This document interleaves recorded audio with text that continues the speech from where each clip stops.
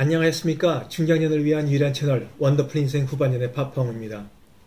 중장년이 되면서 부부 사이의 합체는 사랑을 표현하고 확인하는 그 황홀한 시간이 아니라 일수도장 찍듯 숙제검사 맞듯 마음에도 없는 일을 억지로 해야 하는 일로 전락하기 일쑤입니다. 그래서 나온 말이 의무방어전. 의무방어전은 모두가 아시다시피 권투 경기의 챔피언들이 경기를 치르지 않고 챔피언제를 유지할 수 없도록 의무적으로 일정한 횟수의 경기를 치러내도록 하는 제도에서 유래된 말입니다. 남편의 위상을 유지하겠다는 또 아내의 기본 도리를 다 하겠다는 마음은 영 땡기진 않지만 마지못해 꼭 해야 한다는 정서에서 의무방어전이란 말은 아주 잘 붙여진 비유라고 할 수 있겠는데요. 그래도 듣다 보면 왠지 우리네 결혼 생활이 서글퍼지기까지 합니다. 오늘은 남편과 아내 중 누가 진정 의무방어전을 치르는 챔피언인지 또 누가 도전자인지 그 진실을 이야기해보고자 합니다. 구독과 좋아요 버튼 누르는 거 잊지 마시고 오늘도 영상 끝까지 함께 해주시 기 바랍니다. 감사합니다. 한 여성 커뮤니티에서 실시한 설문조사에 따르면 우리나라 성인 남녀들은 부부간 의무 방어의 필요성에 대해 절대적으로 공감하는 것으로 나타났습니다. 설문 대상자의 85%가 상대방을 배려하는 마음으로 의무 방어를 해준다고 답변한 반면 절대 안 한다.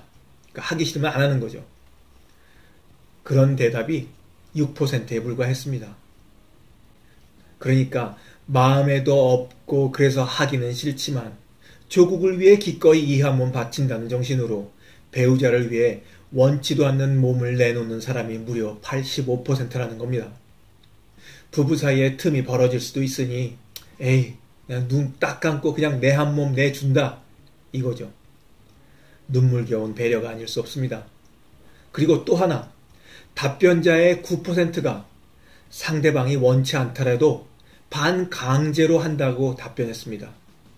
이건 나중에 별도로 이야기하자고요. 뒤에서 중년 남성들끼리 모였을 때 의무 방어전에 대한 얘기를 종종 합니다. 이야기를 듣다 보면 의무 방어전을 마치 가정을 원만하게 유지하기 위해 아내를 배려하는 지상 최고의 사려 깊은 행동쯤으로 여기는구나 하는 생각이 들 정도예요. 아주 이럴 땐 새벽에 벼슬을 높이 세우고 회를 치는 수탉 같다는 느낌을 받습니다. 어깨에 힘이 잔뜩 들어가죠. 자신이 진정한 참편이다 이거죠. 그리고 남편들은 자신이 뭔가를 원할 때 몸으로 때우고 보상하려는 간사한 전략도 씁니다. 그래서 골프를 치러 나가기 전날에는 꼭 의무방어전을 치른다는 사람도 있고 밤샘 낚시를 떠나기 전에 아내의 허락을 구하려면 꼭 의무방어전이 필요하다고 이야기하는 남편도 있습니다. 아내에게 자신의 사랑을 충전시켰다 생각하고 그 다음에 자신이 원하는 것을 하려는 속셈이죠. 이런 것을 보면 아주 애야 남자들은 아주 단순하거든요. 또 한편으로 보면 매춘이라고도 볼 수 있지 않겠어요? 자신이 얻고 싶은 것을 위해 몸을 이용했으니까 그걸 매춘과 다름없다고 얘기하면 좀 지나친 과장인가요? 뭐 부부 사이에 이루어진 것이긴 하지만 목적이 같으니 뭐 매춘이라고 해도 될 듯 싶은데 부부 매춘 뭐 이렇게 말입니다. 하지만 남편들이 살면서 전혀 생각지 못하는 것이 있습니다. 바로 자신들의 아내가 남편인 자신을 위해 의무방어전을 치열하게 치르고 있는 현실입니다. 여기 남편을 위해 의무방어전을 치러내야 하는 괴로운 아내의 사연이 있습니다. 남편분들은 이분의 사연을 들어보면 아마도 사연성 남편이 바로 나였구나 하는 생각이 드실 수도 있겠어요. 저도 그랬겠구나 하는 생각이 들었거든요. 자, 사연 시작합니다. 이제 결혼 3년 차이고요. 섹스리스는 아닙니다. 남편의 요구로 일주일에 한 번 정도는 합니다. 근데 솔직히 이것도 남편의 강력한 요구가 있기 때문에 저는 의무방어전의 개념으로 하고 있습니다. 솔직히 처음엔 하기 싫어서 거부도 하고 그랬는데 그러면 그럴수록 제가 더 힘들어져서 그냥 해주고 맙니다. 저는 부부관계가 없어도 살 수 있을 것만큼 솔직히 남편에 대한 정이 식은 상태고요. 이렇게 된 것엔 신랑의 부부관계에 대한 태도가 한몫했다고 생각합니다. 신랑의 경우 부부관계 없이 5일 이상 넘어가면 슬슬 모든 일에 짜증을 내기 시작합니다. 이건 저도 처음엔 몰랐다가 어느 순간 날짜랑 이런 걸 맞춰보고 생각해보니까 그렇더라고요. 그래서 요즘도 이유 없이 짜증내고 화내고 할 때는 부부관계는 할 날이 지났다든지 뭐 그럴 경우가 많고요. 그리고 특히나 부부싸움 후에 이걸로 해결하려는 성향도 너무 강하고 특히 자기가 육체적으로 피곤하고 그런 날도 꼭 이걸 하려고 하는 것도 강합니다. 근데 저는 솔직히 이런 식의 부부관계가 너무 싫습니다. 아이가 하나 있는 전업주부인데 솔직히 여자 입장에서는 자기가 오늘 부부관계를 좀 하고 싶다면 저를 좀 도와줄 수도 있을 것 같은데 근데 그런 것도 없어요. 그냥 설거지를 왜 늦게 하냐, 왜 아이를 안 재우냐, 이렇게 계속 트집만 잡고 그래요. 저는 자기가 그럴 생각이 있다면 저를 좀 도와서 설거지를 할 동안 아이를 좀 봐준다든지, 아이를 좀 재워준다든지 해주면 좋을 것 같은데, 이런 건 절대 하지 않습니다. 오로지 그냥 자기는 그것만 해요. 늘상 이런 식이니 저는 집안일에 아이 재우고 그러면 지쳐서 하고 싶은 생각은 눈꼽만큼도 없는데 그래도 해야 하니까 저는 너무 고역이고요. 어느 분의 남편은 섹스리스라지만 가정에 대해서는 정말 가정적이라고 하던데 저는 정반대의 남편하고 삽니다.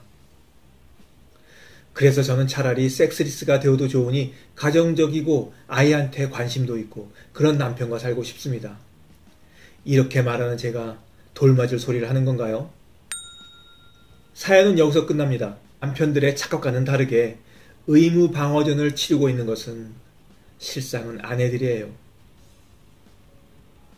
배사일, 육아와 가사로 지친 아내들이 남편의 투정을 다독이고 또 피곤하다고 안 해주면 딴 생각이라도 먹고 바람 필까봐 피곤한 육신임에도 불구하고 이를 악물고 의무 방어전을 치러줍니다. 그러니까 남편들이 아셔야 할 것은 의무 방어전에 있어 진정한 챔피언은 아내들이라는 겁니다. 우리들은 그저 챔피언에게 의무 방어전을 간청하는 도전자에 지나지 않는 것이 현실이고요. 이런 아내들이 의무방어전에서 느끼는 감정 중에 가장 치욕스러운 것이 바로 강간당하는 기분이라는 겁니다.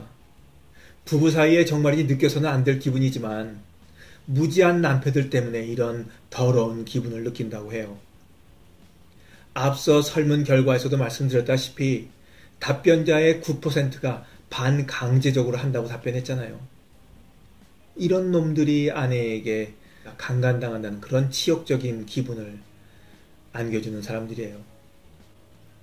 결혼 생활에서 불만과 스트레스가 과도하게 쌓여 있으면 대부분의 아내들은 남편하고 하고 싶은 마음이 생기질 않습니다. 하지만 남자들은 반대로 불만과 스트레스가 쌓이면 공격적으로 변하기도 하고 그래서 스트레스를 합체로 풀려는 경향도 많은데 이런 데서 문제가 발생될 수 있겠습니다. 밖에서 잃은 자신감을 해소하는 차원에서 집에서나마 강한 수컷으로 돌아와 그 면모를 보여주고 싶은 욕구가 일어나기도 하고요. 그러다 보니 피곤해서 싫다는 아내의 의사를 무시하고 그냥 덮치는 거죠. 이거 엄연히 부부간간입니다. 의무방어전과 관련해서 아내가 강간당하는 기분이 가장 더러운 경험이라면 남편에게 있어서는 아내가 합체를 거부하는 것보다 그냥 시체처럼 누워서 빨리 해 하는 듯한 그런 모습을 보일 때 기분이 확 깨죠. 남편들도 알거든요. 아내가 남편 기분 맞춰주기 위해 신음소리도 좀 오버해서 내주고 또 리액션도 좀 해주고 알지만 또 그런 걸 바라기도 하고요. 근데 그런 것도 아니라 목석처럼 누워서 그냥 다리만 벌려주는 모습을 대할 때 마음에 잃었던 그 강렬함이 한순간에 싹 꺼지게 됩니다. 자, 마지막으로. 현실은 아내가 의무방어전을 받아주는 참편임에도 불구하고 왜 남편들은 자신들이 참편이라고 착각하고 있는 걸까요? 그것은 아마도 남녀 차에서 오는 것이 아닐까 하는 생각이 들어요. 이런 면에서 보자면 아내들이, 여성들이 불리하기도 하고 한편으로는 그 노력을 인정받지 못하는 불이익을 받는다고 하겠습니다. 남편은 아내가 별로 마음이 없어도 그냥 아내가 강하게 거부만 하지 않는다면 그냥 삽입을 하고 보잖아요. 그렇게 하면 합체도 그럭저럭 진행되기도 하고. 하지만 여자는 남자가 발기하지 않으면 합체를 할 수가 없습니다. 그래서 남자들이 자신들의 의무 방어전을 치르는 참편이라고 생각하게 되는 걸 수도 있어요. 여자들과 달리 남자들은 발기를 시키려고 좀 노력을 해야 되니까 말입니다. 그래서 자기가 애써서 마음에도 없는 걸 애써서 응? 발기를 시켜서 남 아내에게 해줬다고 그런 생각이 드는 거예요.